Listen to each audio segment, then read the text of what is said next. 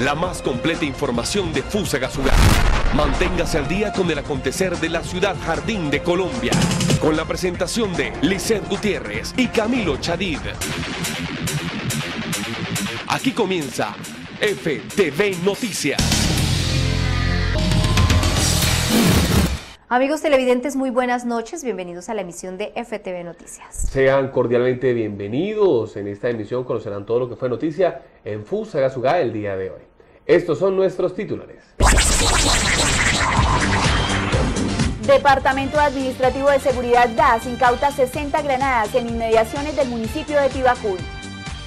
Las aguas negras se filtran al interior de un salón de clase de la unidad educativa José Celestino Muti, sede Fusacatán. Desde las 5 de la madrugada, mañana iniciará la celebración de la Virgen del Carmen con una caravana por el municipio. Fundación Compartir preseleccionó al Colegio Campestre El Himalaya para los premios Compartir al Maestro. Con un bingo bazar, la unidad educativa Teodoro Villavese reunirá a las familias fusagasugueñas. Este fin de semana se efectuará el Lowness Fest, el mejor sonido sobre ruedas de Fusagasugá.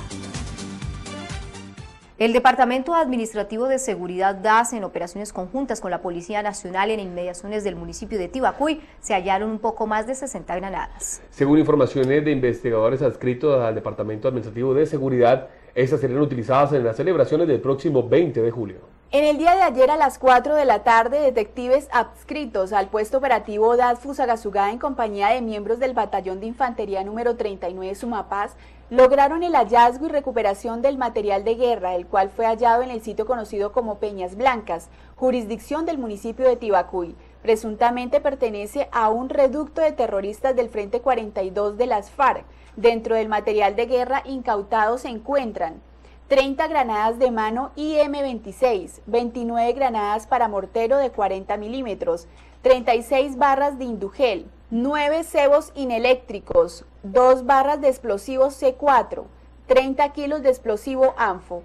Según el Departamento Administrativo de Seguridad y de acuerdo a informaciones de inteligencia, el material explosivo pretendía ser utilizado en la ejecución de actos terroristas en la celebración del Día de la Independencia el 20 de julio y el 7 de agosto, día de la posesión del presidente electo de Colombia, doctor Juan Manuel Santos.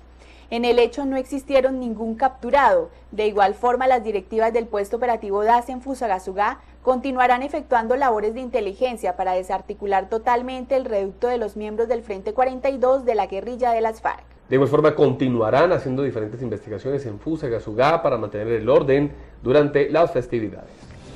La comunidad educativa de la unidad José Celestino Mútice de Fusagatán andan inconformes con una situación que se presenta en este centro escolar. Detalles cuando regresemos.